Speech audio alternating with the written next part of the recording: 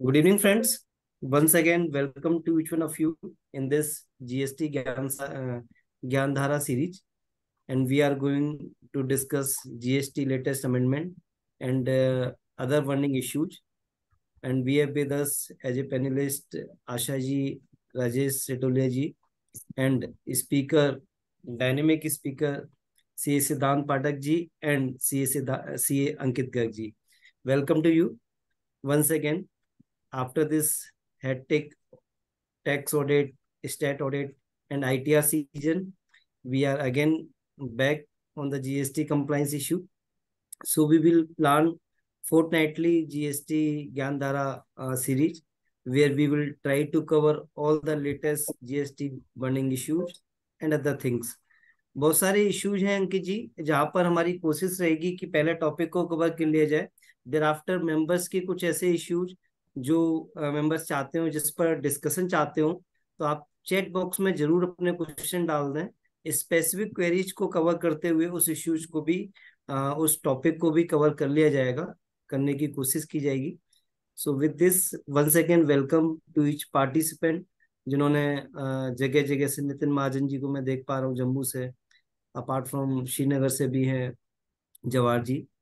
And many participant all around Delhi NCR So over to you, Ankit for your uh, words to start the session. I welcome everyone, uh, basically all my professional colleagues and Team CASA. We thank Team CASA to give the platform to all of us. And uh, it is a both way. Basically, we want to speak on the topic of GST and uh, listener want to listen for the clarification. So it is a both way. Uh, we both are so I welcome everyone again.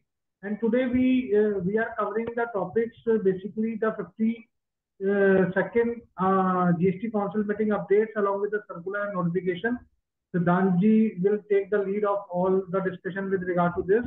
And after that, for 15-20 minutes, we will take the practical aspects what we are facing while uh, getting the assessment done from the uh, GST department Delhi and other department too with regard to the GST and uh, what are the guidelines issued uh, internally GST department.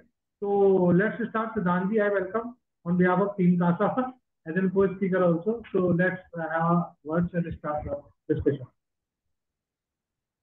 Thank you, Ankitji. Thank you, Sumitji, for uh, always giving the opportunity to update my professional brothers and sisters on the amendments and clarifications as and when they are issued by CBIC. Without taking much time now, I will be proceeding with this uh, discussion. So 7th of October, I hope my voice is perfectly audible. So yes, 7th yeah. of October 2023, we had the 52nd GST Council meeting. And starting from 27th of October, multiple notifications and clarifications have been issued in respect of the decisions taken in the 52nd council meeting. Some notifications and circulars were issued on 27th of October. Then a, circular was issued on 31st of October. And lastly, one of the most awaited notification has been issued just last night. I will start with that, wherein they say that there is they have introduced an amnesty scheme for time barred appeals. So the those in those cases where appeal got time barred in those cases where the order has been passed up to 31st of march 2023 and due to xyz reason the appeals could not be filed within a period of 3 months plus 1 month condonation under section 107 you are being given another opportunity to file these appeals up to 31st of January 2024.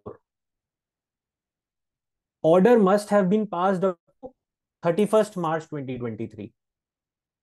The appeal has to be filed by 31st of January 2024. There are few additional conditions. Apart from full payment of the admitted liabilities which is already there as per the provision of section 107 you have to pay 12.5% as pre-deposit. 10% pre-deposit is prescribed in regular cases where the appeal is filed within time. But under this amnesty notification, you have to pay 12.5%, out of which 2.5% has to be adjusted through cash. So 10% you can deposit through the balance lying in your electronic credit, credit ledger, but 2.5% additional you have to deposit in cash if you wish to take benefit of this notification for filing the appeal. If this facility will be applicable to appeals which have already been rejected on ground of being time barred, as well as which are pending before the appellate authority. They will get revived by virtue of this notification, but 2.5% additional you have to deposit as pre-deposit. Amount that has been already deposited as pre-deposit at the time of filing and of appeal will get adjusted. Although this is not explicitly stated in the notification, but I am of the humble opinion that this will get adjusted. There is an another explicit bar in the notification अगर आपने साढ़े बारह percent के ऊपर कोई amount additional पे कर रखा था before issuance of this notification against the order and now you wish to file the appeal under this notification तो उसका रिफंड आपको नहीं मिलेगा जब तक आपकी अपील डिस्पोज नहीं हो जाएगी। मीनिंग देयर बाय अगर मान लीजिए आपके ऑर्डर के अगेंस्ट आपने ट्वेंटी परसेंट डिपॉजिट करा दिया या फुल पेमेंट डिपॉजिट करा दी और अब आप अपील में जाना चाहते हैं, जा सकते हैं। बट आपको रिफंड अभी नहीं मिलेगा। वो आपकी जब अपील डिसाइड हो जाएगी, उसके बाद ही मिलेगा। तो अगर कोई अमाउंट साढ़े बारह परसेंट की एक्सीडिंग जमा हो गया है तो वो अभी के लिए ब्लॉक्ड रहेगा। Also one another important point appeal can only be filed in cases where there is a tax demand involved. If there is no tax demand, the order is in respect of only interest and penalty. You cannot go into appeal under this facility. There has to be a tax demand involved. So this is all about the appeal filing wherein order has been passed up to 31st of March 2023 and appeal could not be filed within time or has been filed after time or even if it has been rejected on ground of being time barred in all the cases you can file the appeal up to 31st of March, January 2024 in the same form which is APL 01 till date on the portal because the notification has come just yesterday the portal is not yet updated. If you wish to file the appeal the portal will give a prompt that your appeal is time barred. And even if you wish to pursue with the appeal please upload the document the direction of the court under which you have been allowed to file the appeal after getting time barred. So in that section you can upload this notification. So this was all about the appeal which has been appeal amnesty scheme which has been introduced by the government. Any uh, point ankit you would like to add in this इसमें एक point और है जैसे इसमें लिखा है कि seventy four के लिए ही इन्होंने thirty first January twenty four की अनाउंसमेंट करी है एक्सटेंशन फर्दर करी है। तो आई थिंक इसके अंदर एक इशू ये भी आ रहा है कि जो ईवे बिल के डिमांड्स हैं जो 129 के अंदर इन्होंने डिमांड्स निकाली है तो उसके लिए ये एक्सटेंशन नहीं है।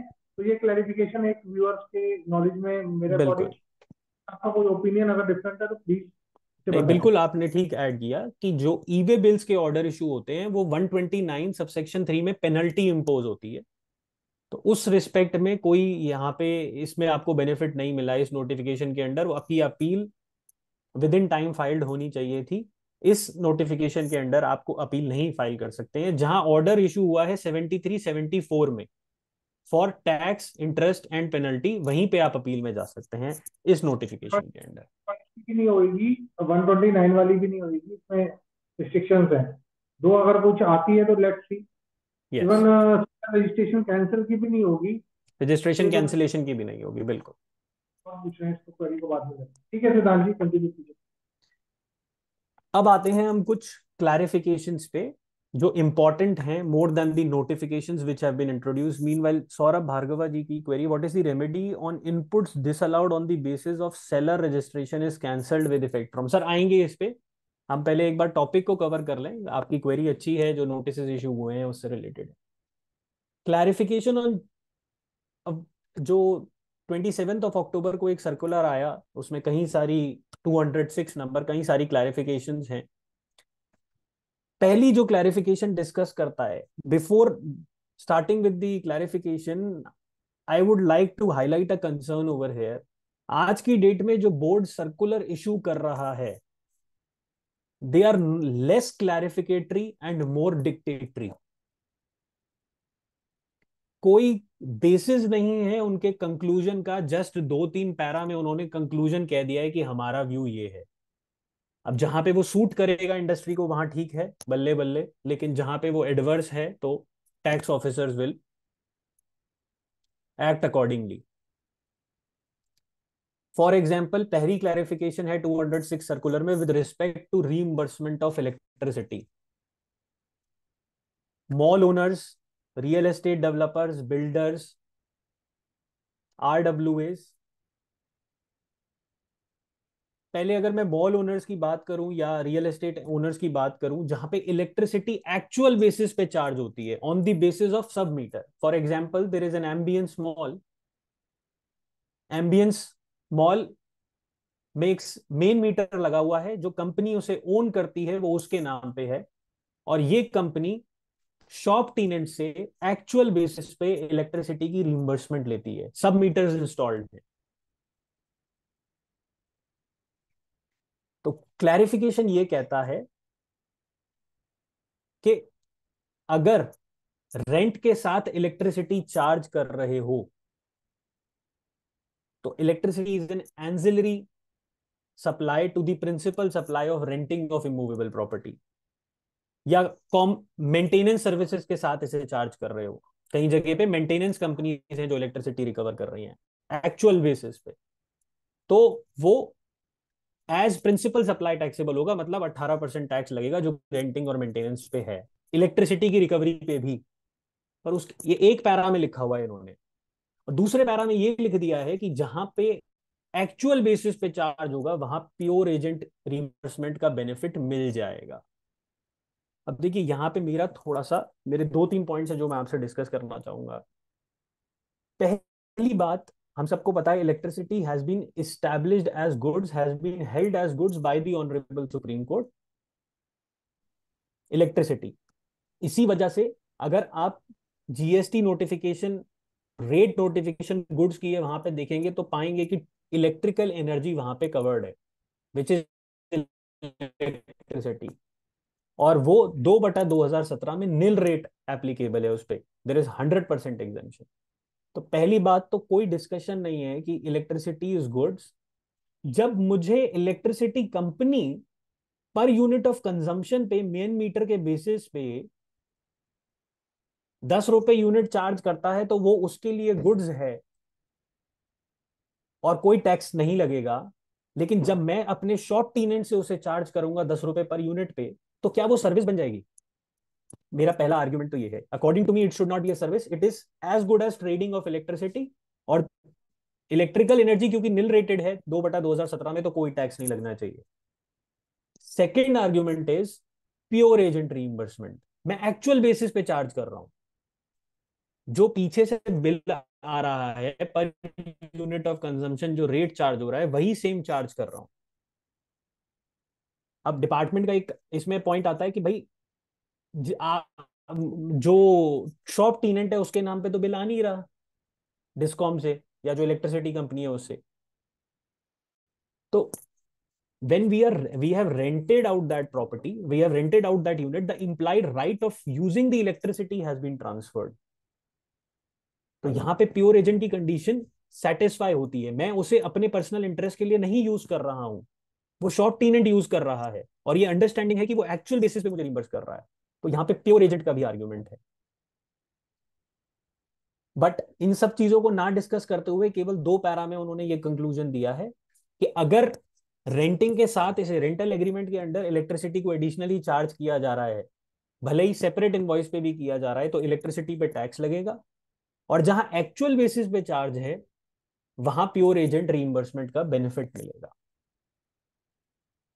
अंकित जी, एक चीज़ पे मैं यहाँ पे और एम्फेसाइज करना चाहूँगा। जब उन्होंने ये कहा कि प्योर एजेंट रीइंबर्समेंट का बेनिफिट मिलेगा जहाँ एक्चुअल बेसिस पे चार्ज किया जा रहा है, मैं कहता हूँ मान लो कि कॉम्पोजिट सप्लाई है।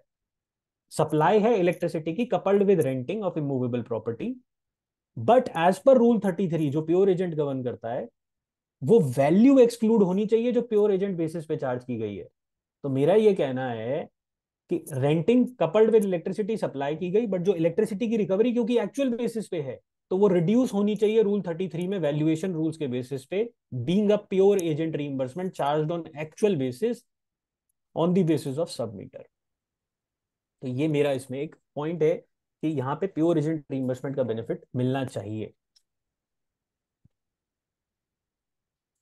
मूविंग फर्दर जो एक नेक्स्ट उन्होंने क्लैरिफिकेशन दी, वो बारले के रिस्पेक्ट में है कि अगर बारले को कन्वर्ट किया जाता है on job work basis into malted barley तो एक इंडस्ट्री में एक कंफ्यूजन था कि इस पे 18 परसेंट जीएसटी लगेगा क्योंकि malted barley for the manufacture of alcoholic liquor for human consumption use होता है, या फिर बिकॉज़ मॉल्टेड बारले एक फ़ूड प्रोडक्ट भी है तो इस पे फाइव परसेंट जीएसटी लगेगा on job work charges job work पे पाँच परसेंट है फ़ूड प्रोडक्ट की रिलेटेड एक्टिविटीज़ पे और एल्कोहलिक लिकर की कंजम्पशन से अगर के यूज़ के लिए for the use in the manufacture of alcoholic liquor अगर मॉल्टेड बार्ले का यूज़ होता है तो वहाँ पे 18 परसेंट है। तो उन्होंने ये क्लैरिफाई किया कि irrespective of the use of malted barley whether it is being used for food preparation or for the uh, manufacture of alcoholic इस पे जो रेट है वो फाइव परसेंट ही रहेगा बिकॉज़ मॉल्टेड बार्ले इंडिपेंडेंटली एक फ़ूड प्रोडक्ट है।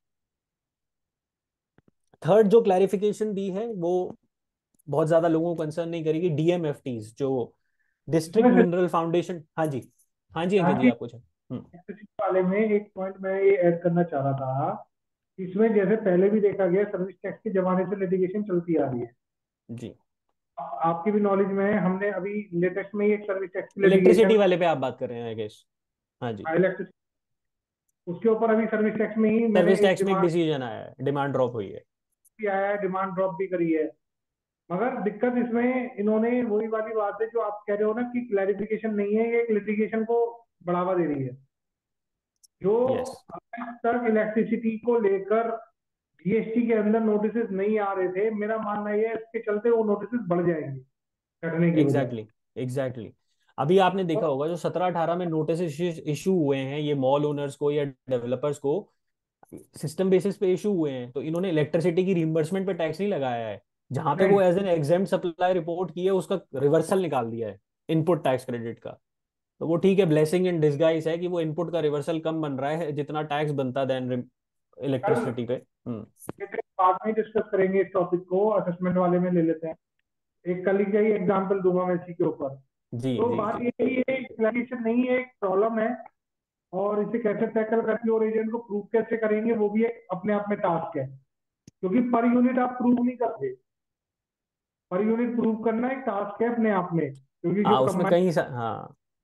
Pattern of charging है बोथ आर डिफरेंट तो we will case in detail also ये एग्ज़ाम्पल वाली चीज़ के ऊपर डिस्कस करते तो जो एक नेक्स्ट क्लैरिफिकेशन है डिस्ट्रिक्ट मिनरल फाउंडेशन ट्रस्ट पर डीएमएफटी जो होते हैं जो माइनिंग एरियाज़ में वर्क करते हैं उनको कहा गया है कि ये अकिन टू गवर्नमेंटल अथॉरिटीज हैं और जो इनको सर्विस प्रोवाइड की जाएँगी that will be exempt at par with governmental authorities next एक क्लैरिफिकेशन सीपीडब्ल्यूडी के रिस्पेक्ट में है कि अगर हॉर्टिकल्चर रिलेटेड सर्विसेज़ सीपीडब्ल्यूडी को प्रोवाइड की जाती हैं तो वो एग्जेम्प्ट रहेंगी एज प्योर सर्विसेज़ और as composite supply of services जहाँ पे कि up to twenty percent material involve है।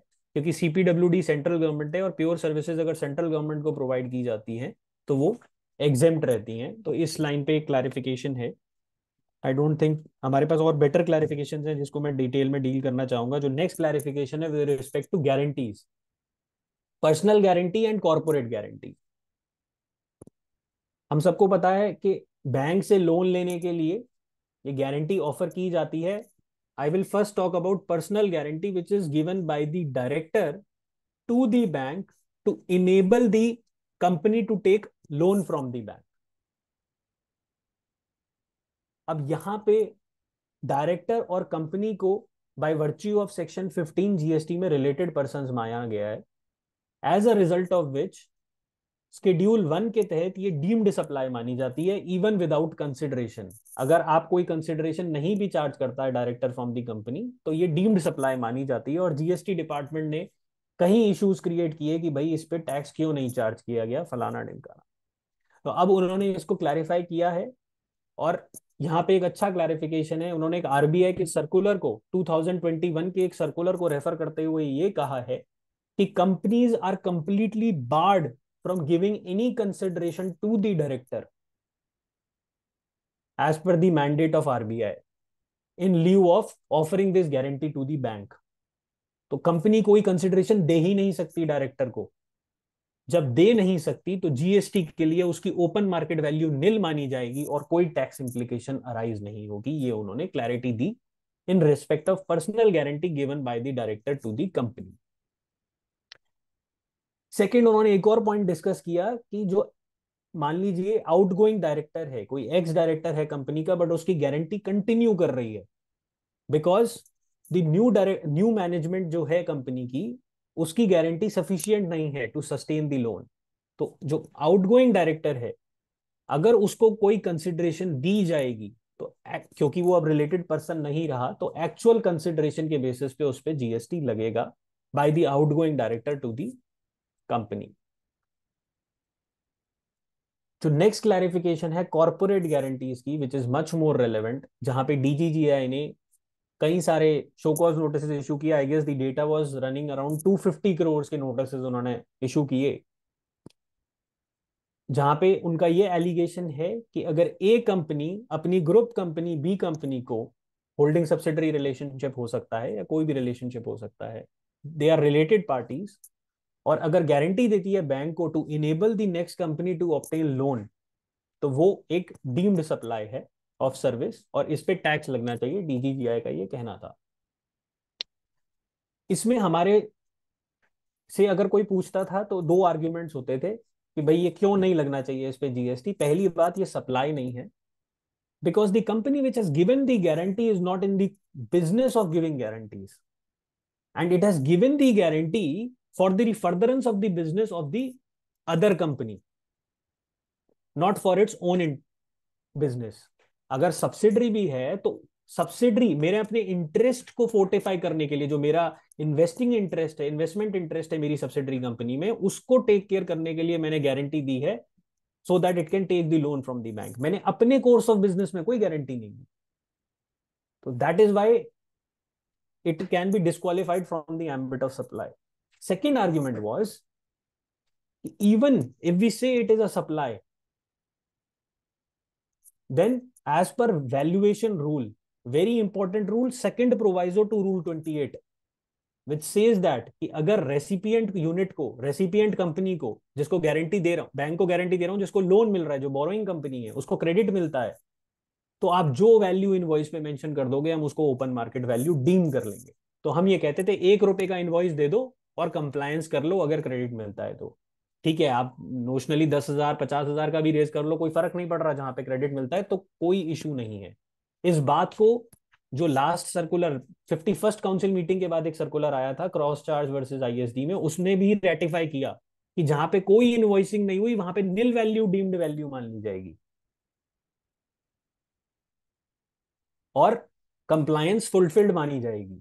तो meaning there bye corporate guarantee में अनलेस एंड अल्टिल कंपनी ऐसे बिज़नेस में थी, मान लीजिए हेल्थ केयर बिज़नेस में थी, जहाँ पे क्रेडिट मिलता ही नहीं है।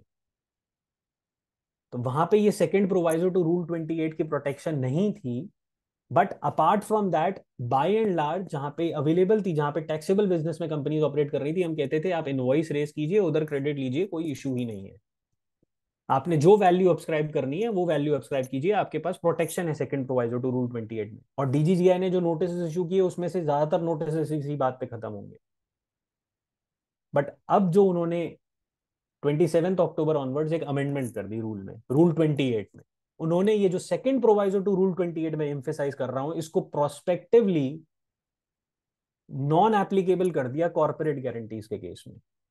और उन्होंने ये कहा कि rule 28 sub rule two will override rule 28 one and in case of corporate guarantee the value will be deemed as one percent of the amount of guarantee offered मतलब कि ए एक होल्डिंग कंपनी है, उसने बैंक को दस करोड़ की guarantee the for B to take the loan from the bank तो ten crore पे one percent value ten lakh rupees will be deemed as the taxable value और दस लाख पे एक लाख अस्सी हज़ार रुपए जीएसटी जमा कराना पड़ेगा। जो एक, अब ठीक है, जहाँ पे अगेन क्रेडिट एडमिसिबल है, मेरे को नहीं लगता कोई इशू आएगा। इनवॉइस रेस करो, एक लाख अस्सी हज़ार रुपए का, उधर क्रेडिट ले लो। बाय एंड लार्ज जहाँ पे ज़्यादा कैश फ्लो का इशू नहीं है। बट हाँ जहाँ पे ये क्रेडिट एडमिसिबल नहीं है हेल्थ केयर कंपनीज़ और रेस्टोरेंट सेक्टर में जो बड़ी कंपनीज़ हैं, जो प्रिवेल करती हैं, जहाँ पे क्रेडिट एडमिसिबल नहीं है, वहाँ पे ये प्रॉब्लम अब आएगी। कि उनको वन परसेंट डीम्ड वैल्यू पे टैक्स देना पड़ेगा और सामने क्रेडिट नहीं मिलेगा। So this was about the guarantees again I would emphasize that 26 October 2023 जो तो जो गारंटीज इशू हुई, वहाँ पे कोई प्रॉब्लम नहीं है। Nil value will be deemed as the open market value कोई टैक्स पे किया, कोई दिक्कत नहीं है। डिमांड ड्रॉप होगी होगी अगर डिपार्टमेंट रेज करेगा तो। बट 27 अक्टूबर ऑनवर्ड्स आपको वन परसेंट वैल्यू का इनवॉइस रेज करना पड़ेगा। वन टाइम सर्विस है जब गारंटी ऑफ़र होगी तभी एक बार जो गारंटी ऑफ़र हो गई छब्बीस अक्टूबर तक कोई इशू नहीं है। सत्ताईस अक्टूबर ऑनवर्ड जो गारंटी ऑफ़र होंगी उस पर ये टैक्स लगेगा।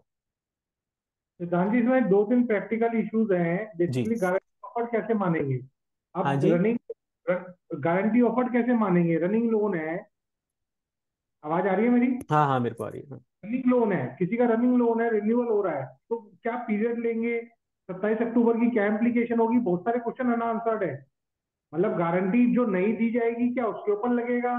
पुरानी वाली गारंटी का क्या होगा? या रिन्यूअल जो होगा, उसे भी फ्रेश गारंटी मानेंगे? तो बहुत सारे क्वेश्चन अनआंसर्ड है। देखो, जो आप रिन्यूअल होगा ना एक बार मैंने गारंटी दे दी, अब ये लोन चल रहा है। अगर उसका रिन्यूअल होता है गारंटी का तो वो फिर वो फ्रेश सप्लाई मानी जाएगी। वो मानी जाएगी ना। और फिर टाइम पीरियड क्या लोगे? आप सत्ताईस अक्टूबर से, यानी उसका divide by three sixty five into number of days करके उस ईयर का नोटिस उस पीरियड का पर मंथ नोटिस दोगे पर मंथ वो निकालोगे उसकी वैल्यू नहीं, वो तो आप आज टैक्स दे दो ना उसमें। जैसे आपने आज 28 अक्टूबर को गारंटी ऑफ़र करी तो आप वन परसेंट वैल्यू पे टैक्स आज डिस्चार्ज कर दो, उधर क्रेडिट ले लो। वो ठीक है आपकी बात की सर्विस अब जैसे इंश्योरेंस कंपनी या एएमसी कंपनी मुझसे आज पैसे ले लेती है सर्विस बारह महीने तक प्रोवाइड करेगी लेकिन इनवॉइस पहले दिन रेस कर देती है ना वैसे ही ये दिस विल ऑल्सो वर्क ये बड़ी एक मतलब ये छोटी चीज़ नहीं है बहुत बड़ी चीज़ है क्योंकि amount of guarantee that is very huge वो है।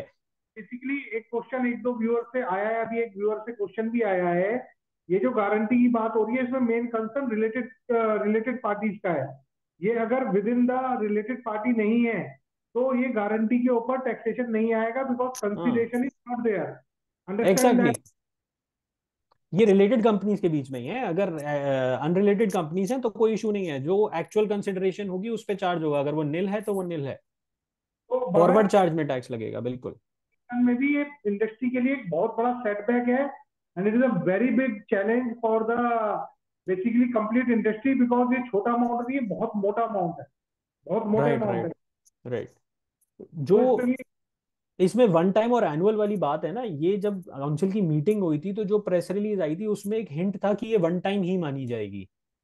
वो अच्छा। नोटिफिकेशन में उस तरीके से नहीं आया है बट प्रेस रिलीज़ अगर हम मिनट्स ऑफ़ द मीटिंग जाके पढ़ेंगे तो वहाँ पे थोड़ा क्लैरिटी है कि ये वन टाइम मानी जाएगी। आई कैन ब्लाइंडली हाँ। टाइम में मानना तो आसान है बिल्कुल बात ठीक है। बट वो इनिशियल आउटफ्लो हो जाएगा बिल्कुल। एक और तो बड़ा सेटबैक है। ठीक है आई मिलेगा मगर पहले तो बंदे को पे, पे करना है ना। राइट राइट मोटा अमाउंट है छोटा अमाउंट नहीं है। जी जी जी। Let's see let's see clarification to come let's see industry will pursue नहीं ऑलरेडी आई गेस एक पिटीशन फ़ाइल हुई है इसके अगेंस्ट पिटीशन हाँ वो रूल चैलेंज किया गया है। ये तो वही वाली बात है ना, जैसे कहते थे कि सास पे भी जीएसटी लग जाएगी तो अभी माहौल ऐसे ही बनता जा रहा है। लेट्स सी नेक्स्ट क्लैरिफिकेशन जो है, वो प्लेस ऑफ़ सप्लाई के रिस्पेक्ट में है in relation to transportation of goods finance act 2023 जो कि फ़र्स्ट ऑफ़ अक्टूबर 2023 से जिसके प्रोविजंस एप्लीकेबल हो गए, इसने एक अमेंडमेंट की section 13 subsection 9 of the IGST act में अगर सर्विस प्रोवाइडर या सर्विस रेसिपियंट आउटसाइड इंडिया है, दोनों में से कोई एक तो सेक्शन 13 के अकॉर्डिंग आप प्लेस ऑफ़ सप्लाई डिटरमाइन करते हैं। और ट्रांसपोर्टेशन ऑफ़ गुड्स की जो सर्विस है, उसकी place of supply destination of goods मानी जाती है एज पर थर्टीन नाइन ये सर्विस टैक्स के जमाने से है, जहाँ पे place of provision of service rules होते थे, और destination of goods was treated as the place of provision of service वही अभी तक था जीएसटी में, तेरह नौ। Thirteen nine was the provision इन्होंने फाइनेंस एक्ट 2023 में उसको डिलीट कर दिया और अब जो ट्रांसपोर्टेशन ऑफ़ गुड्स की सर्विस है, वो by default general residual clause में डिटरमाइन होगी एज लोकेशन ऑफ़ रेसिपिएंट इसका थोड़ा सा मैं आपको एक छोटे से एग्ज़ाम्पल से इम्प्लीकेशन समझाता हूँ। आपको ध्यान होगा first August first October 2020 I guess first August 2022 onwards export air freight and export sea freight को टैक्सेबल कर दिया गया। हमने उसके बाद एक सेशन भी रखा था। First October 2022 was the date तो इसको जब टैक्स किया गया तो अगर जो फॉरेन इंडियन एक्सपोर्टर है, जो इंडिया से गुड्स अपने कस्टमर को फॉरेन से भेज रहा है इंडिया टू यूएस से भेज रहा है तो वो जो शिपिंग लाइन या एयरलाइन इंडियन शिपिंग लाइन या इंडियन एयरलाइन की सर्विस लेता था 30 सितंबर 2022 तक उस पर कोई टैक्स नहीं था। बट फ़र्स्ट ऑफ़ अक्टूबर से उस पर टैक्स लगा दिया गया। हुआ क्या? कि जो फॉरेन शिपिंग लाइन और फॉरेन एयरलाइन थी location of supplier outside India place of supply as per section thirteen nine destination of goods United States India to USA की मूवमेंट में destination US United States place of supply since location of supplier and place of supply both fail outside India this did not qualify as import of service और reverse charge में tax नहीं लग रहा था Indian exporter पे. As a result of which foreign shipping lines and foreign airlines were having an undue advantage over the Indian service providers. तो इसको at par लाने के लिए इन्होंने 13.9 को डिलीट कर दिया और ये कहा कि location of recipient of service will be deemed as the place of supply तो एक अक्टूबर 2023 ऑनवर्ड अगर फॉरेन शिपिंग लाइन सर्विस देती है इंडियन एक्सपोर्टर को for transporting the goods from India to USA तो place of supply will be India the location of recipient of service who is the Indian exporter instead of destination of goods as a result of which the Indian exporter will be liable to pay tax under reverse charge because this qualifies as an import of service. तो ये एक इसका implication है thirteen nine को delete करके thirteen two में लेके आने का। क्लैरिफिकेशन ये भी कहती है कि मेल और कोरियर की सर्विसेज़ कभी भी थर्टीन नाइन में कवर्ड नहीं थी। वो थर्टीन टू में ही कवर्ड थी और एज इट इज़ कंटिन्यू करेगी। आगे बढ़ते हैं। जो next clarification place of supply के रिस्पेक्ट में है that is with respect to advertising sector अभी हमने ट्रांसपोर्टेशन ऑफ़ गुड्स को डिस्कस किया, दूसरा है एडवर्टाइजिंग सेक्टर ये इशू भी कई बार सामने आता था। एक एडवर्टाइजिंग कंपनी है, जो कि अपने क्लाइंट को एडवर्टीजमेंट सर्विसेज़ प्रोवाइड करती है।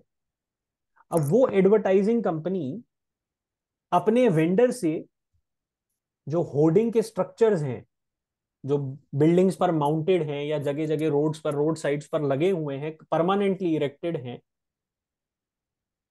वो उनसे रेंट आउट करते थे और अपने क्लाइंट का एडवर्टीजमेंट वहाँ लगवाते थे।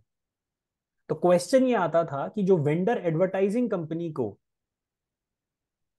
इनवॉइस रेस कर रहा है, उसकी place of supply immovable property based होगी या लोकेशन ऑफ़ रेसिपिएंट बेस्ड होगी। इसका इंप्लीकेशन क्या था कि अगर एडवर्टाइजिंग कंपनी मुंबई में रजिस्टर्ड है और वो अपने क्लाइंट का डेली में एक एडवर्टीजमेंट लगाना चाहती है होर्डिंग पर तो जो होर्डिंग ओन करता था वेंडर दिल्ली में, वो सीजीएसटी एसजीएसटी चार्ज करता था because place of supply was immovable property based तो बॉम्बे की कंपनी को क्रेडिट नहीं मिलता था।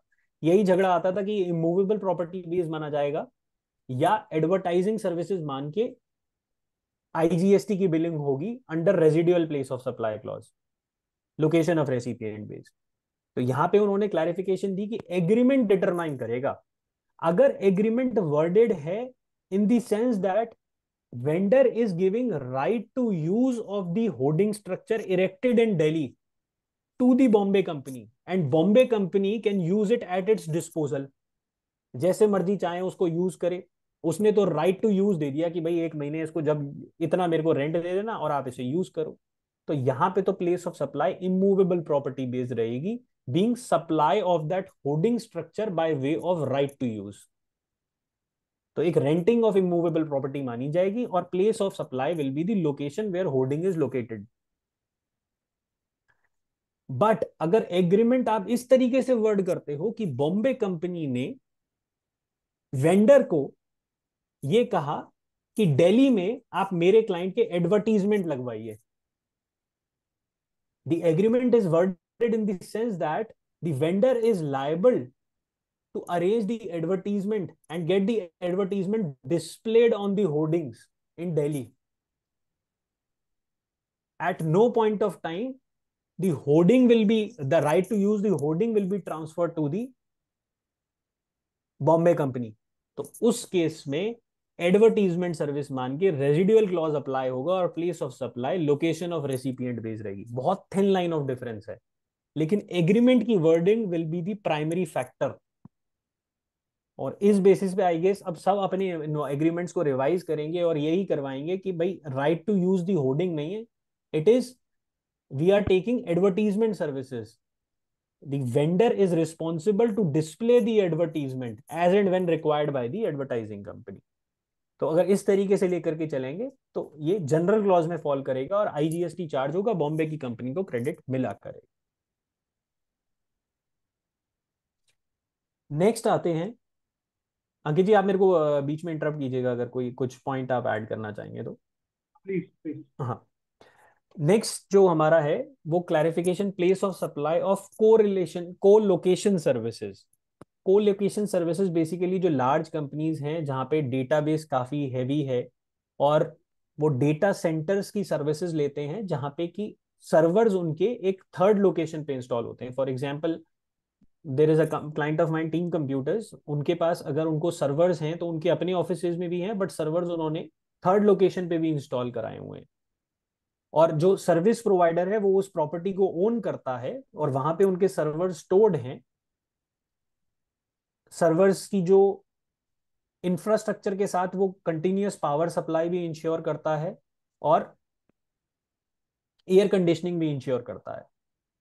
तो क्वेश्चन ये आता, इसके साथ साथ कई सारी और सर्विसेज़ भी बंडल्ड है। जैसे कि होस्टिंग जो होगी, जो कनेक्टिविटी होगी from the head office to the location of the server उसकी जो सिक्योरिटी होगी इंक्रिप्शन होगी, ये सारी चीज़ें अगर आप एज बंडल्ड देंगे तो place of supply will be based on general clause that is location of recipient basis but केवल अगर प्रॉपर्टी ऑफ़र कर रहा है, उसके साथ एयर कंडीशनिंग और पावर सप्लाई ऑफ़र कर रहा है, लेकिन कोई सर्वर की मेंटेनेंस नहीं है, कोई सर्वर की होस्टिंग नहीं है, कोई सिक्योरिटी नहीं है तो फिर इन दैट केस वो इमूवेबल प्रॉपर्टी की रेंटिंग मान करके टैक्स होगी और place of supply will be the location of immovable property next clarification is with respect to export of services ये भी बहुत इंपॉर्टेंट है, जो लोग सर्विसेज़ एक्सपोर्ट करते हैं और प्रोसीड्स आईएनआर में रिसीव होती हैं। लेकिन एक्स और एक्सपोर्ट ऑफ़ सर्विस के लिए कंडीशन बड़ी प्राइमरी है कि कंसिडरेशन मेरी कन्वर्टेबल फॉरेन एक्सचेंज में रिसीव होनी चाहिए। एफआईआरसी होनी चाहिए मेरे पास बैंक की, तभी डिपार्टमेंट रिफंड देता है। तो एक केस आता है बड़ा पेक्यूलियर कि जहाँ पे वॉस्त्रो अकाउंट से पेमेंट हो रही है। तो वहाँ पे फॉरेन ट्रेड पॉलिसी में ऑलरेडी मैकेनिज्म है कि वॉस्त्रो अकाउंट में जिसमें डेडिकेटेड फॉरेन करेंसी पार्कड है, अगर उससे पेमेंट होती है इंडियन बैंक में आईएनआर में तो वो की जा सकती है for the purpose of export but ये जीएसटी में डिपार्टमेंट उसे एक्स कन्वर्टेबल फॉरेन एक्सचेंज नहीं कंसिडर करता था तो उसी रिस्पेक्ट में क्लैरिफिकेशन है कि जो वॉस्त्रो डेडिकेटेड वॉस्त्रो अकाउंट जो फॉरेन ट्रेड पॉलिसी के रिलेवेंट रूल्स के अंडर बने हुए हैं, और जहाँ से पेमेंट आईएनआर में अगर इंडियन बेनिफिशियरी के अकाउंट में आ रही है तो वो माना जाएगा कि वो कन्वर्टेबल फॉरेन एक्सचेंज में है और उस पर आपको रिफंड देना पड़ेगा, वो एक्सपोर्ट ऑफ़ सर्विस क्वालिफाई होगा। Then there is another important amendment not clarification with respect to provisional attachments आज की डेट में अगर मेरी कोई भी प्रोसीडिंग इनिशिएट होती है इंस्पेक्शन सर्च सीजर होता है अंडर सेक्शन 67 और डिपार्टमेंट के पास ये रीजंस टू बिलीव है कि in the interest of government revenue मैं असेसी वुड बी एब्सकॉन्डिंग और any X Y Z reason तो even before the conclusion of proceeding they can provisionally attach your any of the property of the taxpayer including bank account section 83 में ये power है commissioner की authorisation के under ये हो सकता है। एंड हमने देखा है पिछले पाँच सालों में कई सारी अटैचमेंट्स होती हैं, फिर एसएससी को हाईकोर्ट जाना पड़ता है। क्वाश होती हैं, कुछ केसेस में नहीं भी होती हैं, जहाँ पे कंप्लीटली बोगस केसेस है। बस इस 83 सेक्शन में एक सबसेक्शन टू है, जो कि ये मैंडेट देता था कि एक साल के बाद this will cease to effect have effect बड़ा क्लियर कट लॉ है। एक साल तक प्रोविजनल असेसमेंट कंटिन्यू रह सकती है, उसके बाद उसे वेकेट होना ही पड़ेगा। बट जो कॉरेस्पॉन्डिंग रूल्स थे, वहाँ एक अनॉमली थी कि जब तक कमिश्नर जिसकी इंस्ट्रक्शन के अंडर ये प्रोविजनल अटैचमेंट इन्वोक हुई थी, जब तक वो इंस्ट्रक्शन नहीं दे देता कि इसको वेकेट करो एक साल के बाद, तब तक वो नहीं सी टू इफ़ेक्ट आती थी। And assessee use to run pillar and post to get it कई बार कई केसेस में देखा गया हाईकोर्ट ने भी एम्फेसाइज किया कि जब लॉ में लिखा हुआ है, एक साल के बाद विकेट होगी तो आप क्यों नहीं उसे खत्म करते हैं? आपके केस कंक्लूड ही नहीं कर पा रहे हो शो कॉज नोटिस इशू नहीं कर पा रहे हो। And assessee has the appellate remedy कि 10 परसेंट, बीस परसेंट पे पे करके बाकी उसकी डिमांड स्टे हो जाएगी, और आप पूरे बैंक अकाउंट को फुल अमाउंट के साथ अटैच कर रखा है आपने। तो अब इन्होंने ये रूल को अमेंड किया है कि उन्होंने ये कहा है कि under the instruction of the commissioner और when one year ceases to have effect when one year expires from the date of invocation of provisional attachment whichever is earlier automatically that provisional attachment will cease to have effect तो अब commissioner की instruction wait करने की ज़रूरत नहीं है। Automatically that provisional attachment after expiry of one year will have cease to have effect ये उन्होंने रूल में अमेंडमेंट की है। Next clarification is with respect to transportation of passengers कई सारी क्लैरिफिकेशन हैं। इसमें अमेंडमेंट भी है। ट्रांसपोर्टेशन ऑफ़ पैसेंजर सर्विस की बात करें। For example cars on rent for example Avis जो विद ड्राइवर सर्विस देते हैं पैसेंजर ट्रांसपोर्टेशन सर्विस यहाँ पे तीन तरीके की रेट्स हैं इस इंडस्ट्री में। एक one is where cost of fuel is included cost of fuel जहाँ पे इंक्लूडेड है। फॉर एग्ज़ाम्पल आपसे, आपको इनोवा क्रिस्टा से हायर करनी है और दिल्ली से जयपुर जाना है, उसका रेट है twenty one rupees per kilometer inclusive of fuel तो जो सर्विस प्रोवाइडर है, उसके पास दो ऑप्शन है। वो या तो five percent without input tax credit वाले मॉडल में ऑपरेट कर सकता है या twelve percent with full input tax credit वाले मॉडल में ऑपरेट कर सकता है। राइट जहाँ वो फाइव परसेंट वाले मॉडल में ऑपरेट करता है, वहाँ पे उसे आईटीसी नहीं मिलता एक्सेप्ट फॉर वन केस अगर वो same line of business provider से पीछे बैक टू बैक सर्विस लेता है तो उसे उसका क्रेडिट मिलता है। मीनिंग देयर बाय जिससे मैंने सर्विस ली दिल्ली से जयपुर जाने के लिए, गाड़ी विद ड्राइवर ली। अगर वो बैक टू बैक पीछे किसी और सर्विस प्रोवाइडर से गाड़ी विद ड्राइवर लेता है जिसपे कि पाँच परसेंट या बारह परसेंट ही चार्ज हो रहा है तो उसे उसका क्रेडिट मिलता है। अब यहाँ पे एक अमेंडमेंट आई है और एक क्लैरिफिकेशन आई है। अमेंडमेंट ये है कि अगर सर्विस प्रोवाइडर मतलब मेरे सर्विस प्रोवाइडर का जो वेंडर है, वो सर्विस दे रहा है और वो 12 परसेंट वाले मॉडल में है मतलब कि वो अपनी गाड़ी इनोवा क्रिस्टा जो खरीदी होगी उसने, उसका क्रेडिट लेकर के 12 परसेंट पे मेरे सर्विस प्रोवाइडर को बिल करता है तो मेरे सर्विस प्रोवाइडर को मैक्सिमम पाँच परसेंट तक का ही क्रेडिट मिलेगा। ये नोटिफिकेशन में इलस्ट्रेशन के थ्रू समझाया भी है उन्होंने, इसलिए मैं डिस्कस नहीं करूँगा। तो मैक्सिमम पाँच परसेंट तक का ही क्रेडिट ले सकता है मेरा service provider because he is prevailing under five percent model ये तो अमेंडमेंट है।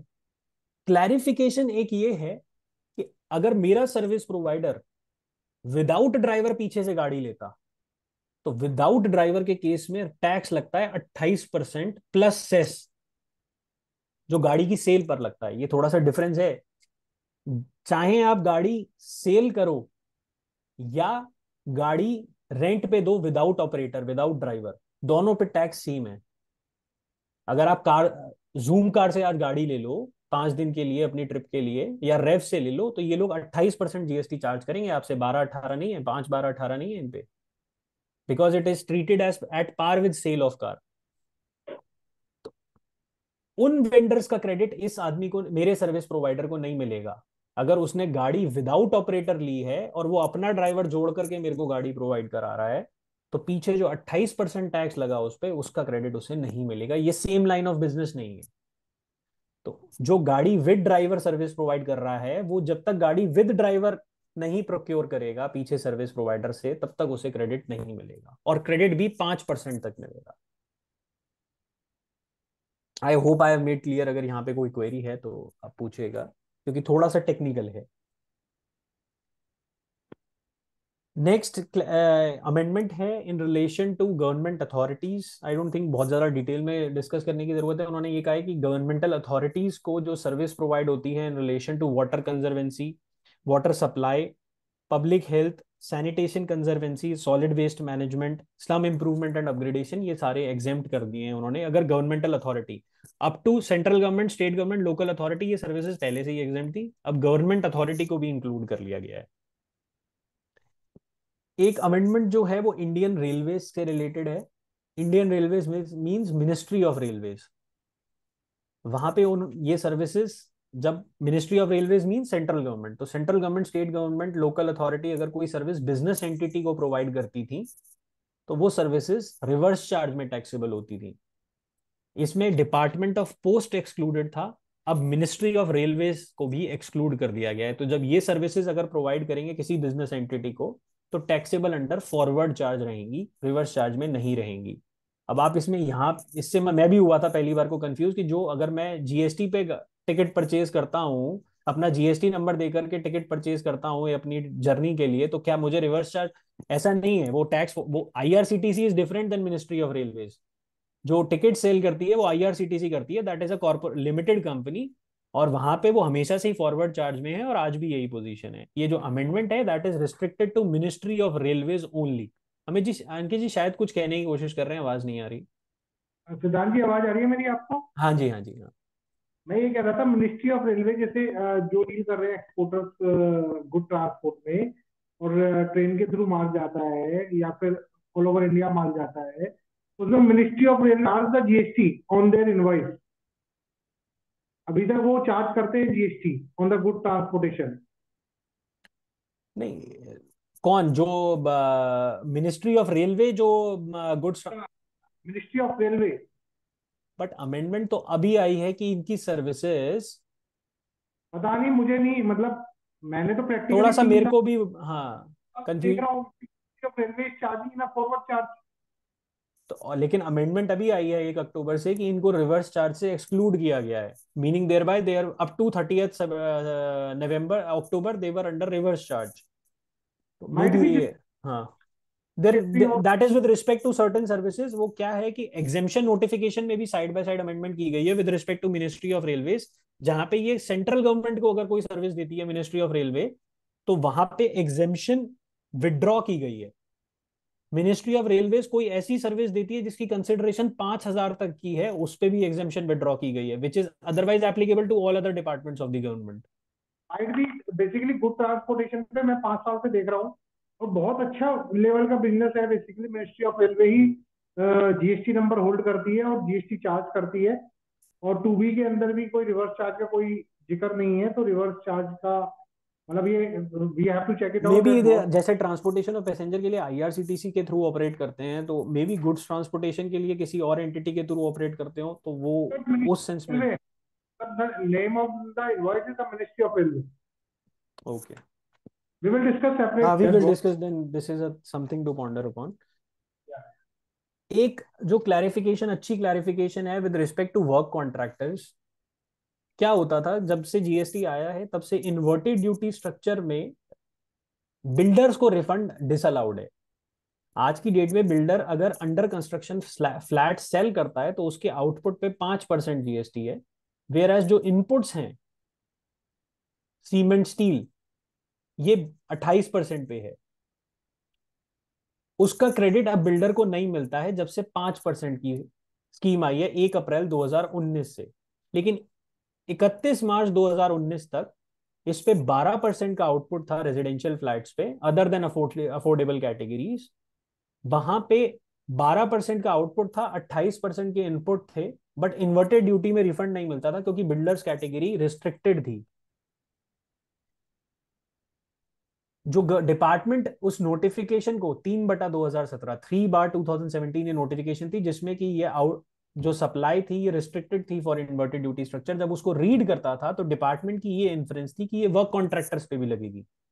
मतलब बिल्डर होता है जो अपनी लैंड पे एक प्रोजेक्ट बना करके सेल करता है फ्लैट सेल करता है। वेर एज वर्क कॉन्ट्रैक्टर जो हम कॉन्ट्रैक्टर सर्विसेज़ कहते हैं, दूसरे की ज़मीन पे आप कोई कंस्ट्रक्शन कर रहे हो तो वहाँ पे construction services up to a certain period 12 percent पे टैक्सेबल थी। अगर आप गवर्नमेंट कंपनीज़ को मेट्रो बनाने के लिए कोई सर्विस देते थे या एयरपोर्ट बनाने के लिए देते थे, अब सब 18 पे है। अब ये इतनी रेलेवेंट नहीं है, लेकिन ये पीछे के पीरियड के लिए क्लैरिफिकेशन उन्होंने दी है।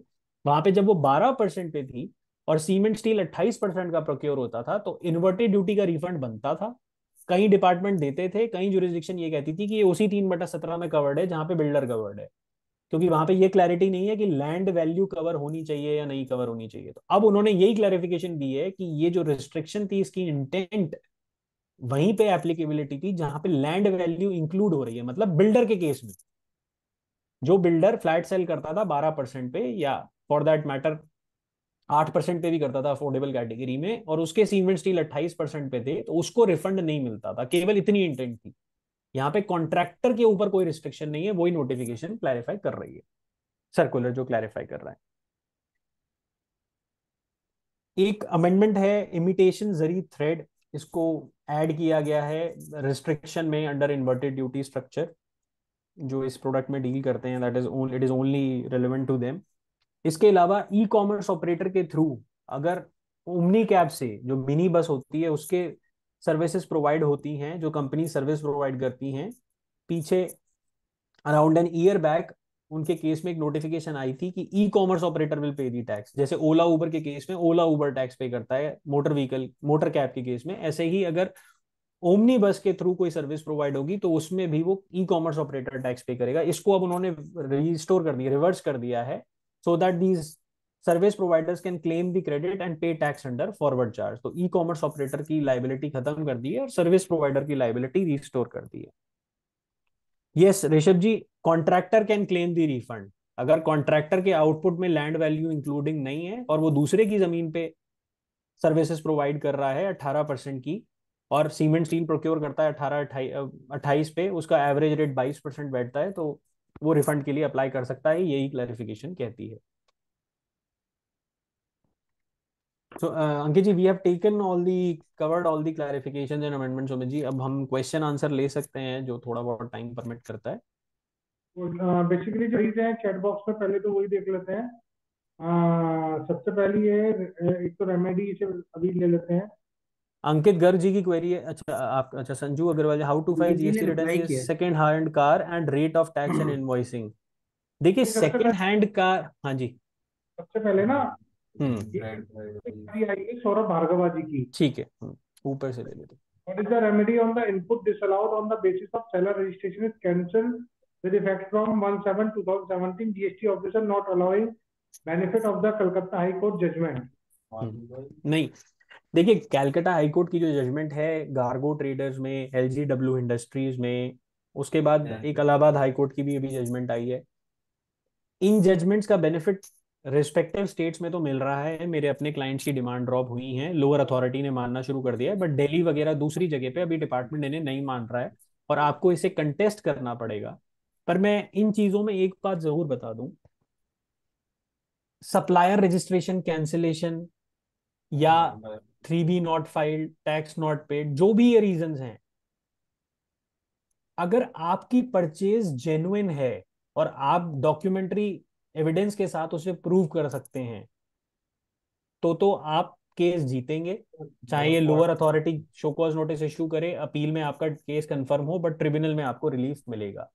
The paramount is you have to prove the delivery of the goods to yourself अगर आप ये प्रूव कर दो, आपके पास, मेरे पास आज ही क्लाइंट बैठे थे they are I will not like to name them they are purchasing iPhones जिसमें आई तक की रिकॉर्डिंग है।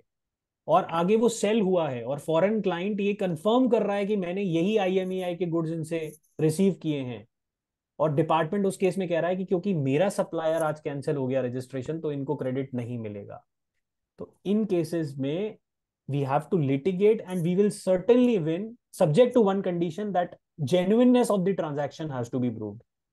तो वहाँ पे तो जहाँ पे इस तरीके के मोबाइल आइटम्स सेल होते हैं प्रोक्योर करके सेल होते हैं, वहाँ पे मुझे बताया गया कि शिपिंग बिल फ़ाइल करते time I M E I B E Sanchar एक वेबसाइट है जिसपे अपलोड होता है और वो कस्टम्स वेरीफाई करता है। तो इस तरीके के डॉक्यूमेंट्री नॉर्मल केसेस में, देखिए ये सब चीज़ कहाँ से आ रही है? E Com Gill coffee trading 2023 18 March 2023 का जजमेंट है ये मार्च 2023 का जजमेंट है। उसने, सुप्रीम कोर्ट ने ये कहा, वैट का जजमेंट है सिमिलर लॉ जीएसटी में। सुप्रीम कोर्ट ने ये कहा, केवल इनवॉइस और उसकी payment through bank account this is not sufficient to prove the genuineness of the transaction and for the buyer to claim the credit the onus is on the buyer to prove the genuineness of the transaction Karnataka VAT act का judgment है वहाँ पे section 70 हुआ करता था GST में ये section 150 है आई गेस 150 की रेंज में है और बड़ा क्लियरली कहता है कि ओनस बायर के ऊपर है अपनी जेन्युइननेस को प्रूव करने के लिए परचेज ट्रांजैक्शन की तभी उसे क्रेडिट मिलेगा तो अगर आपके सप्लायर का रजिस्ट्रेशन कैंसिल कर दिया डिपार्टमेंट ने और आपका डिपार्टमेंट ये टैक्स डिमांड कर रहा है क्रेडिट रिवर्सल की डिमांड कर रहा है बट आपके पास ये प्रूफ है कि जेन्युइनली आपने गुड्स रिसीव किए हैं। अब एग्ज़ाम्पल क्या हो सकता है डॉक्यूमेंट्री एविडेंसेस का? ये सुप्रीम कोर्ट के जजमेंट में उन्होंने रिकॉर्ड किया कि व्हीकल की डिटेल्स जिससे सामान आया था proof of payment of freight अगर आपने फ्रेट किया पे किया है। Third acknowledgement given to the driver of the vehicle who was driving the vehicle and bringing the goods to you जो आपने उसको एक्नॉलेजमेंट दी कि भाई तेरे से मैंने सामान ले लिया। इसके अलावा फोटोग्राफिक प्रूफ्स अगर आपके पास हैं तो। तो टॉल रिसीट्स अगर आपके पास हैं तो। मीनिंग देयर बाय मूवमेंट और फ़िज़िकल डिलीवरी को अपने यहाँ स्टैब्लिश करना बहुत इंपॉर्टेंट हो गया।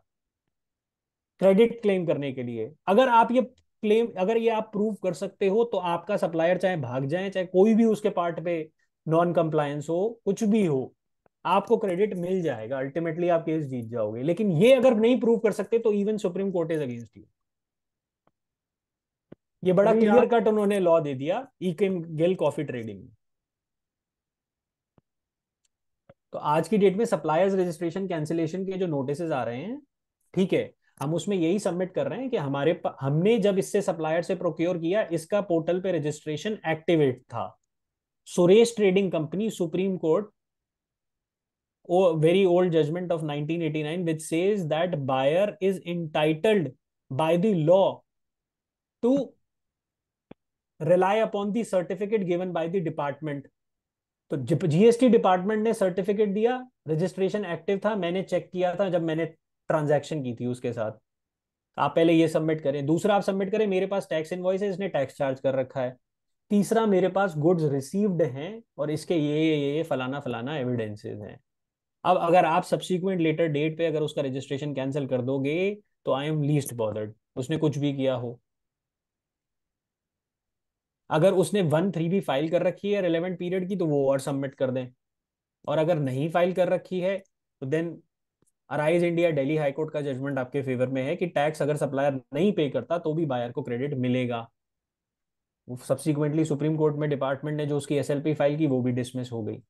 तो ये कॉन्ट्रोवर्सीज हैं और ये यहाँ पे नीचे लोअर लेवल पे सॉल्व नहीं होंगी बट अगर आपकी ट्रांजैक्शन जेन्युइन थी तो उसको फाइट करें।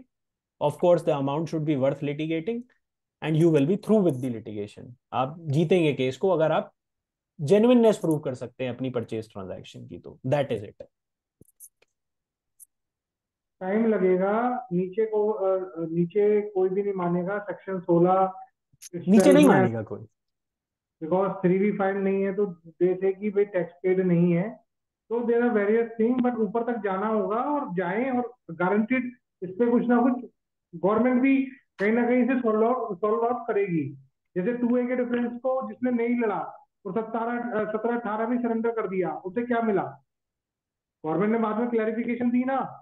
183 सर्कुलर आया पेपर में आया तो ऐसी ही चीज़ें होंगी but you have to your client should have patience और लिटिगेशन कॉस्ट वो बियर करे तो आप आगे लड़े क्या दिक्कत है? टू ए थ्री बी में मैं एक और चीज़ ऐड करना चाहूँगा। देखो सर्कुलर गवर्नमेंट ने इशू कर दिया ठीक है पर मेरे को कोई ये बताए ना सत्रह अठारह में कौन सा प्रोविज़न था जो ये कहता था कि टू ए में ऑटो पॉपुलेट होना चाहिए? आप अच्छा, उसको फाइट करो। हाँ मैं वही कह रहा हूँ ऑफिसर के आगे सरेंडर कर दिया और डिमांड पे कर दी तो उसके लिए तो कुछ बचा ही नहीं ना। आज देखो वो प्रोविज़न भी हाँ वो रिकवरी भी जो छोटे मोटे केसेस डिपार्टमेंट को भी अपना फ़ायदा दिख रहा है ना कि जहाँ पे छोटे अमाउंट हैं और एसएससी नहीं लड़ सकता वहाँ पे रिकवरी हो गई खत्म हो गया केस लेकिन जो फाइट करेगा they will win because there was no provision जी सिद्धांत जी अब दस मिनट ना एक जो असेसमेंट वाला पार्ट है उसे ले लेते हैं जो प्रैक्टिकल अभी है। हाँ जी हाँ जी हाँ। देखिए ऑल व्यूअर्स के लिए जो भी क्वेश्चन है, आप चैट बॉक्स में टाइप कर सकते हैं प्रैक्टिकली देखें। तो अभी एच दिल्ली से नोटिस काफ़ी सर्व हुए हैं न्यूज़ में भी आया, पचास हज़ार नोटिस सर्व हुए हैं। और उन नोटिस को अगर आप देखेंगे तो उसमें बड़ा सिंपल सा कंप्यूटर जनरेटेड नोटिस है वो। उसमें क्या किया गया है? एक तो आपकी नाइन को उठाया गया है। नाइन में जो टेबल एट में डिफरेंसेस है, उसे उठा के डिमांड निकाल दी गई है for the excess claim of ITC आपकी जो नाइन और थ्री बी और वन की समरी है, उसमें जो आउटवर्ड में डिफरेंसेस है, उसको उठा के डिमांड निकाल दी गई है। आउटवर्ड सप्लाई की। उसके अलावा एक एड ऑन में इन्होंने एच एस एन कोड को एनालाइज करा इनके सॉफ्टवेयर ने। और जो टू ए के अंदर पार्टियाँ हैं, आपकी जिनसे क्रेडिट आए हैं, उसमें सपोज़ कोई वर्क कॉन्ट्रेक्टर है या फूडिंग वाला है तो उसकी उठा के डिमांड निकाल दी गई है। प्लस उसके अलावा आपने जीएसटी नाइन फ़ाइल करते हुए, अगर आपने कोई एग्ज़ाम सप्लाई या नॉन जीएसटी सप्लाई को फिल करा है तो उसके ऊपर कॉमन आईटीसी को रिवर्स करके प्रपोर्शनेट उसकी डिमांड निकाल दी गई है। तो ये चार फैक्टर्स जो मैंने देखे हैं नोटिस में, ये मेजरली आ रहे हैं। और प्लस उसके अलावा क्या है जी, जो नोटिस इशू हुए हैं, उसके अंदर डेट ऑफ़ हियरिंग कहीं पहले है, कहीं बाद में है जनरली बाद में दी गई है। Plus date of reply is before date of hearing तो इसके अंतर्गत रात ही में एक clarification within the internal departmentally issue करी गई है from the commissioner of H जिसके अंदर कहा गया है कि जो नोटिस गलत इशू हो गए हैं और प्राइमा फेसी ऑफिसर को भी दिख रहे हैं कि वो गलत है तो वो उन्हें विड्रॉ करें। पहली चीज़। हर ऑफिसर को ही दिख रहा है कि हाँ इसमें कुछ डिफरेंसेस नहीं है और ये नोटिस गलत इश्यू हो गए हैं तो उसे विड्रॉ करें। दूसरी चीज़ कही गई है कि जिसका ऑडिट ऑलरेडी हो गया है और कोई नया ग्राउंड नहीं है स्कूटनी के अंदर, वो नोटिस भी ड्रॉप करे जाए। ये भी एक इंटरनल गाइडलाइंस दी गई है ऑफिसर्स को। थर्ड ये कहा गया, जिसकी ऑलरेडी स्कूटनी हो गई, उसके बाद ये नोटिस इशू हुए हैं और कोई नया ग्राउंड नहीं है तो वो भी ड्रॉप कर दिया जाए। तो तीन फैक्टर तो ये हमने नोट कर लें। कि अगर अप, अपने कोई मैटर इस तरीके का है तो इंटरनल गाइडलाइंस भी आ गई है वो इजीली ड्रॉप हो जाएँगे प्लस चौथा चौथा क्या कहा गया है ऑफिसर को गाइडलाइंस दी गई है कि कोई भी adverse order should not be issued without giving a personal hearing opportunity to the taxpayer. What does it mean? कि कोई भी डिमांड बिना पीएच के ऑफिसर जब तक आपको पीएच की अपॉर्चुनिटी नहीं देगा तो कोई भी डिमांड इनिशिएट नहीं करेगा। ये भी क्लैरिफिकेशन इंटरनली दी गई है। तो हमने देखा कि पाँच पार्ट इन्होंने बड़े क्लैरिफिकाई क्लैरिफिकेटरी दे दिए, प्लस तीस दिन का टाइम अगर किसी नोटिस में नहीं दिया गया है तो वो इम्प्लाइड है कि तीस दिन उसे दिए गए हैं और वो तीस दिन के अंदर उसका रिप्लाई दे सकता है। तो ये पाँच छह मेजर मेजर चीज़ें इसके अंदर बताई गई हैं। प्लस ऑफिसर को राइट दिए गए हैं कि वो नोटिस को विड्रॉ कर सकता है, उसे लगता है तो एच को वो विड्रॉ कर सकता है विद राइटिंग द रीजन ये तो हमने डिस्कस किया और with regard to the H internal guideline plus इसके अंदर जो एच वाला पार्ट है और जो आईटीसी रिवर्सल वाला पार्ट है, उसके लिए भी इंटरनल गाइडलाइंस में कहा गया कि officer is required to completely cross check all the relevant facts जो ये HSN वाला इन्होंने उठा के नोटिस दिया है, उसके लिए कहा गया है कि आप प्रॉपरली चेक करें क्या वो आईटीसी इनएलिजिबल था, तभी आप डिसअलाउ करेंगे। मतलब उन्हें भी पता है कि सॉफ्टवेयर ने निकाल दिया है, ऐसा नहीं है कि वर्क कॉन्टेक्ट का आईटीसी किसी को भी नहीं मिलेगा। We know it seventeen five में वर्क कॉन्टेक्ट का आईटीसी ब्लॉक है रिस्ट्रिक्टेड है, कि वो कैपिटलाइज होना चाहिए। और अगर वो सेम लाइन ऑफ़ बिज़नेस में है तो उसे मिलेगा ही मिलेगा। तो बहुत सारे फैक्टर्स हैं जो ऑफिसर्स को इंटरनल गाइडलाइंस दी गई हैं। ग्रुप पे भी हम लोग शेयर कर देंगे जो ग्रुप पे आई हुई हैं। तो you can take the help of these guidelines while doing assessment in a HGST department Delhi यही हालत कहीं ना कहीं मैं नोएडा डील कर रहा हूँ। नोएडा में भी देख रहा हूँ, बाकी स्टेटों में भी देख रहा हूँ। लाइन को बेस उठाया गया है कॉमन आईटीसी सब जगह एक प्रॉब्लम है। जहाँ नॉन जीएसटी सप्लाई डाली गई है, जहाँ एग्ज़ाम सप्लाई डाली गई है, उन्होंने without asking the detail of the common supply they have given the demand notice DRC zero one के अंदर उन्होंने डिमांड निकाल के आप लोगों को दे दी। तो इसका मतलब ये नहीं है कि ऑफिसर्स सुन नहीं रहे हैं, काम नहीं हो रहा है, आप प्रॉपर क्लैरिफिकेशन दें। अच्छा एक चीज़ मैं और बताऊँ ऑफिसर्स भी नए हैं।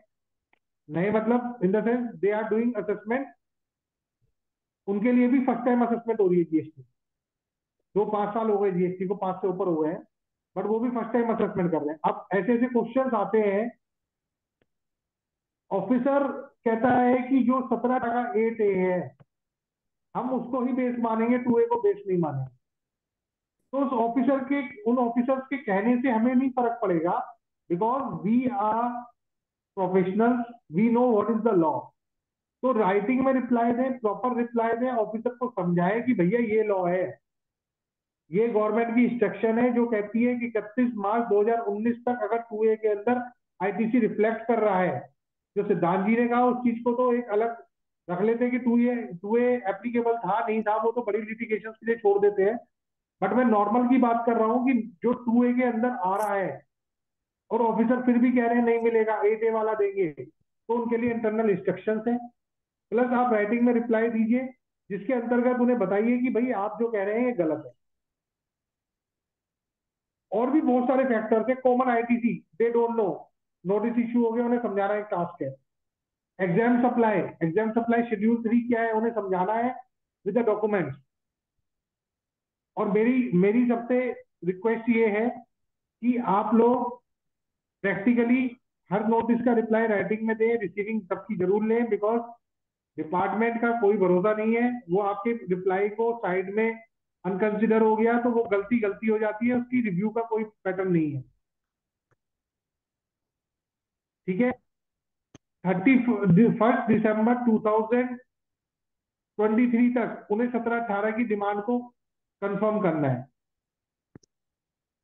और थर्टी फ़र्स्ट दिसंबर 2023 तक उन्हें अठारह उन्नीस के शोकॉज दे देने हैं, उसके बाद वो टाइम मारेंगे। अंडर सेक्शन सेवेंटी थ्री तो that's all with the assessment बाकी हम लोगों को, सभी को पता है लॉ हम लोगों को काफ़ी पता है इंस्टेड ऑफ़ डिपार्टमेंट तो अपने ऊपर भरोसा रखें और रिप्लाई दें with instruction with circular with notification and the things will be sorted out this is my suggestion my opinion Siddhant ji आप कुछ ऐड करेंगे इसके अंदर? नहीं बिल्कुल अंकित जी आपने बहुत अच्छे तरीके से बताया जो नोटिस आ रहे हैं और जिस तरीके से उन्हें एड्रेस करना है। एक चीज़ मैं और ऐड करना चाहूँगा इसमें जो मैंने भी अपने सबमिशन सब में ली है।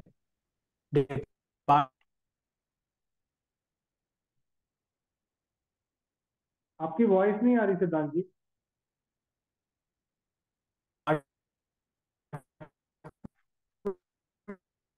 के जितने भी नोटिस है जितने भी अंकित जी ने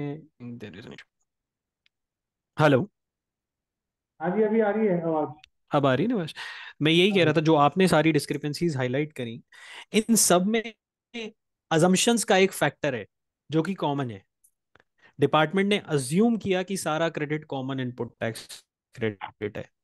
डिपार्टमेंट ने अज्यूम किया कि जो ब्लॉक्ड क्रेडिट टू में रेफर हो रहा है मैंने भी उस सप्लायर से वही सप्लाई ली है जो मेरे लिए ब्लॉक्ड है, क्योंकि सप्लायर उन्होंने कैसे असर्टेन किया ये?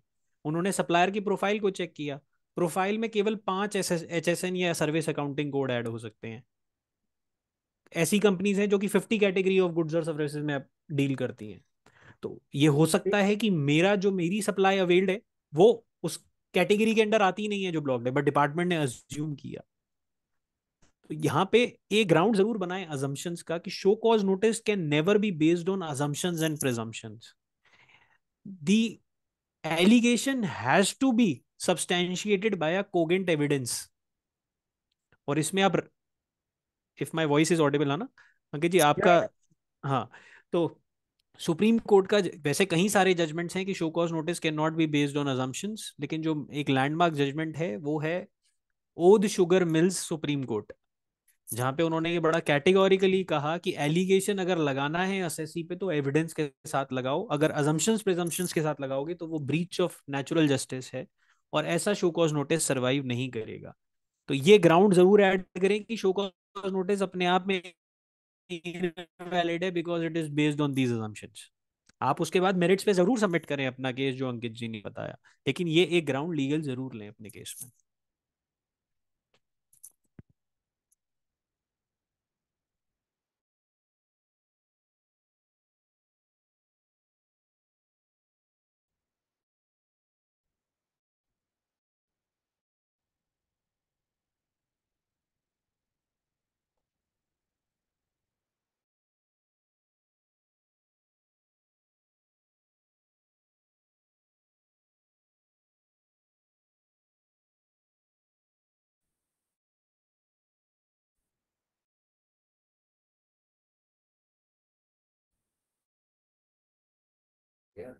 अंकित जी आपकी आवाज़ म्यूट हो गई है सिद्धांत जी मैं ये कह रहा था ज्योति जी की एक क्वेरी है जो शायद अनाउंसर्ड है उसे एक बार ले लेते हैं क्लोज करते हैं full query pending ji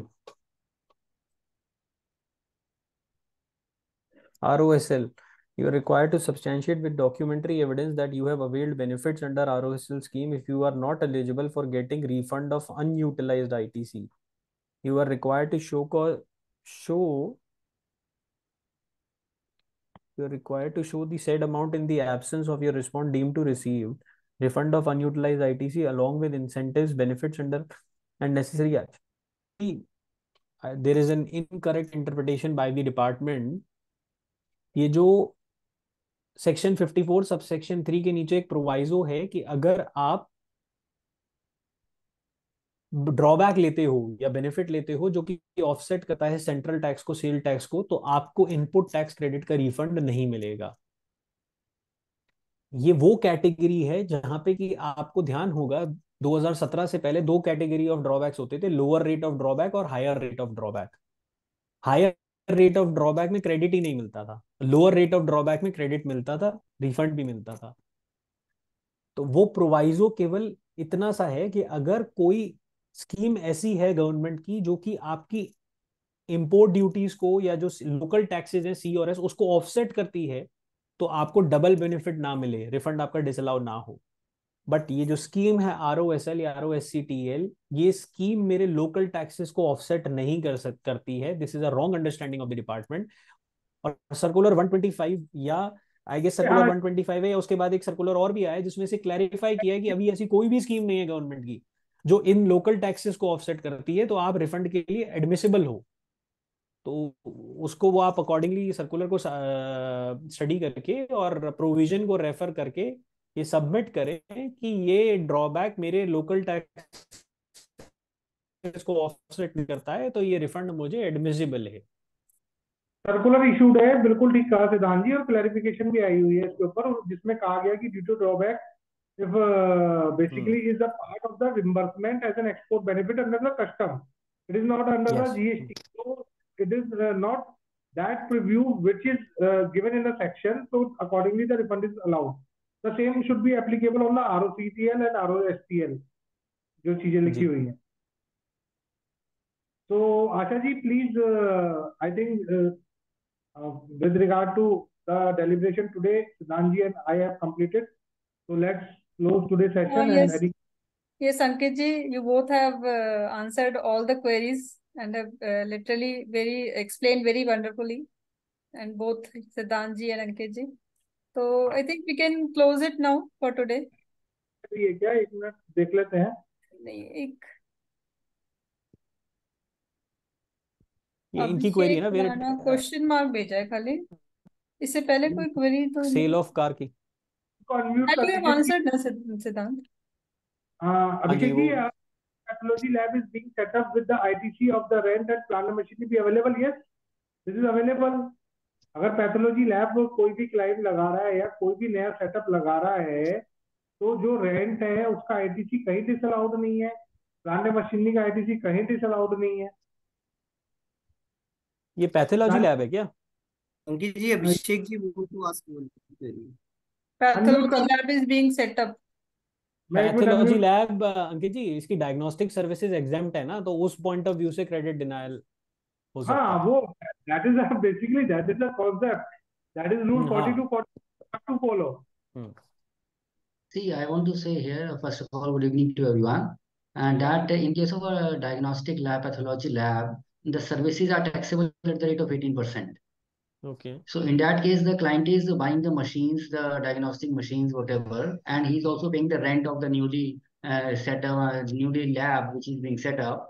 So I feel that uh, the plant and machinery will and the rent as well will be eligible for ITC. Yes, absolutely, yes. sir. Absolutely. No doubt, no doubt at all. Okay, thank you. And one more thing, uh, what uh, Ankitji was saying regarding the notice is that we have received a notice and in that notice, uh, there is manually it is mentioned that ITC gap uh, this much and then C and this S, and they have manually written it. Now we don't have the details uh, about which of these invoices are they talking about, in which uh, there is a gap and they have found out. So can we give it a reply that please send us the list of the invoices uh, where you are uh, finding it difficult to match? Abhishek ji I think कि आप pH के लिए जाएं और उनसे detail ले लें वैसे प्रैक्टिकली जितने भी नोटिस आ रहे हैं अगर हम उनकी वर्किंग कर पा रहे हैं तो खुद ही डिटेल निकाल पा रहे हैं बट कुछ केस में जैसे एट अवेलेबल नहीं है तो आप नहीं पता लगा पा सकते कि क्या प्रॉब्लम्स आ रही हैं तो आप पीएच के लिए जाएँ उनसे डिटेल ले लें वो डिटेल दे देंगे आपको आप So राइटिंग maybe में they will be they will be sending it online itself because I have seen that in Delhi uh, the department is sending, but however in Noida they are not sending the measure of the gap uh, whatever they have traced. yeah, between in 2A Noida and 3B they are not giving Yes, I- yes, two A and three Yes, that's right. sir your ground of submission lies in your answer itself. ये सब नहीं दे रहा है department कोई कोई detail नहीं दे रहा है केवल जस्ट केवल एक कंपैरिजन ड्रॉ करके नोटिस इशू कर दिया है। जी दिल्ली वालों ने एसजीएसटी में इतना बढ़िया नोटिस निकाला है मतलब गलती क्या है उसे छोड़ देते हैं। फ्रंट पे नोटिस में क्या भसड़ मची है उसे छोड़ देते हैं। मगर पीछे एनेक्सर बहुत प्रॉपरली बनाए हैं। हाँ वो एनेक्सर प्रॉपरली दिल्ली में बने हैं। लेकिन जहाँ पे नहीं बने हैं तो आप ये चैलेंज करो ठीक है? वो डिपार्टमेंट नोएडा वाला मेरे हिसाब से देगा भी नहीं आपको। वो कहेगा आप एक्सरसाइज करो कौन से नहीं आए टूए में? बट एज पर दी लॉ आप ऑब्लिगेटरी नहीं हो। कोई ऑब्लिगेशन ही नहीं है आपके ऊपर कि आप टू ए चेक करो। एक जनवरी 2022 से ये ऑब्लिगेशन आई है by virtue of sixteen two double A और वो प्रोस्पेक्टिवली एप्लीकेबल है। दिस इज़ द आंसर कि 16 टू डबल ए जब लॉ में ही एक जनवरी 2022 से आया है तो 31 दिसंबर 2021 तक क्यों चेक करें two A two B Raj ji बात बिल्कुल ठीक है। आप प्रैक्टिकली बताएँ सर्कुलर 183 फिर क्यों लाया गया? सर मैं आपको बताता हूँ विजयवाड़ा में मेरी हियरिंग चल रही थी। I was physically there commissioner appeal represents Andhra Pradesh state and he said that कि from Andhra Pradesh I have given in written that circular 183 goes against the law I agree मगर वो जो वाली बात है आप जो इलेक्ट्रिसिटी पे आप डिस्कस कर रहे थे सेम इज़ 183 वो देखिए लड़ेंगे तब जाकर के वो जजमेंट्स आएँगे। प्रैक्टिकली आज की डेट में अगर आप अपने डिफरेंस को रिकनसाइल करके सबमिट कर सकते हो 183 को कंप्लाई कर सकते हो वेल एंड गुड अगर लिटिगेशन में नहीं जाना। लेकिन हाँ, जहाँ बड़ी कंपनीज़ ऐसी भी है जो इस एक्सरसाइज को फॉलो ही नहीं कर सकती सर जहाँ पे करोड़ों का क्रेडिट है और उसमें कोई 20 लाख रुपए नहीं मिल रहे तो कौन उसे मैच करेगा? वो चैलेंज करेगा। नक्शल नक्शल में बात यही है कि अगर आप प्रैक्टिकली उसका जवाब दे पा रहे हैं विद डिटेल आप दे दीजिए। नहीं दे सकते कॉस्ट बेनिफिट एनालिसिस कीजिए। अगर आपको लग रहा है कि यार लिटिगेशन जाने में कॉस्ट ज़्यादा है आप डिमांड पे कीजिए बिकॉज़ यही आज अभी एज ऑफ़ नाउ जीएसटी में यही सिस्टम चल रहा है।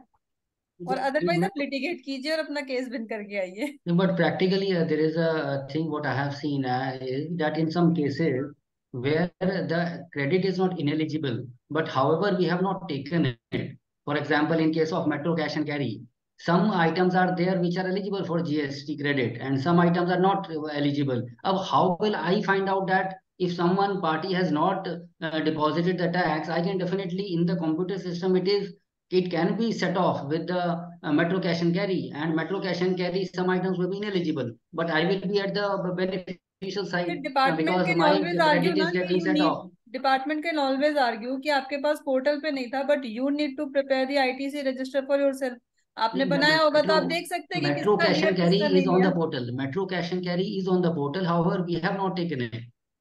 But Sir, there might be आपने some अपनी तो supplier which has not uh, filed the return. Abhishek ji briefly वही जो सिद्धांत जी ने कहा कि देखिए अगर आप आपको सबसे बड़ा ऑप्शन उन्होंने क्या दिया कि two A is not as per the law with regard to seventeen eighteen अगर आपका मैटर बड़ा है तो एज एन प्रोफेशनल हम तो सजेस्ट करेंगे अगर आगे लिटिगेट करें ना यहीं क्यों खत्म करना है? बिल्कुल। सर सेक्शन कौन सा बताया था अभी सिद्धांत जी इसका? One one six two A sixteen two sixteen two में सारी कंडीशन है क्रेडिट लेने की। अगर आप सत्रह अठारह के टाइम का प्रोविज़न पढ़ेंगे तो उसमें कहीं कंडीशन नहीं है टू ए में क्रेडिट ऑटो पॉपुलेट होना चाहिए। बट एक जनवरी 2022 से ये प्रोविज़न ऐड हुआ है सिक्सटीन टू डबल ए तो एशियन शिपिंग लाइन का एक जजमेंट है ट्रिब्यूनल का पुराना जो कई बार रेफर होता है वो ये कहता है कि अगर एक प्रोविज़न एक कंडीशन लाई जाती है from a particular date then it itself means that it was never applicable prior to that date ये ये माना जाए। एशियन शिपिंग लाइंस वाला? एशियन शिपिंग लाइन ये सी स्टैट का जजमेंट है। मैं स्टेट बोल रहा हूँ लेकिन आपको मैं सुमित जी को फॉरवर्ड कर दूँगा। मिल जाएगा मिल हाँ, जाएगा हाँ, हाँ, हाँ, ये ग्रुप पे दे देंगे आपको क्योंकि टाइम की भी थोड़ी लिमिटेशन हो रही है। Thank you so much thank you so much जी एक कृष्ण गोपाल जी जो आपकी क्वेरी है उसके लिए बेसिकली मार्जिनल स्कीम है for the sale of second hand car जो पर्सन सेकंड हैंड कार में डील करते हैं और वो कोई वैल्यू एडिशन कर रहे हैं तो उसके ऊपर उन्हें जीएसटी देना अगर लॉस में बेच रहे हैं तो कोई जीएसटी नहीं देना तो आप एक बार क्लैरिफिकेशन देख लें अगर कोई फिर भी आपको नहीं समझ में आता तो आप सुमित जी को पोस्ट कर दें we will answer it personally ठीक है Siddhant ji right right Okay, uh, now we are closing the today's session and as requested uh, has been there also. The time is over. So, Asha ji, we are closing it today. Oh, yes, okay. yes. Thank you. Thank you both of you, Ankit ji and Siddhant ji and all the participants. Thank you and thank you for wonderful discussion as always. And बहुत सारी queries solve हुई and in future we will plan again. Thank you so much, Siddhant ji. Ankit ji. Thank you, all participant. Thank you. Thank you, Asha. Thank you, thank you. Thank you, Asha. Close कर दीजिए आप meeting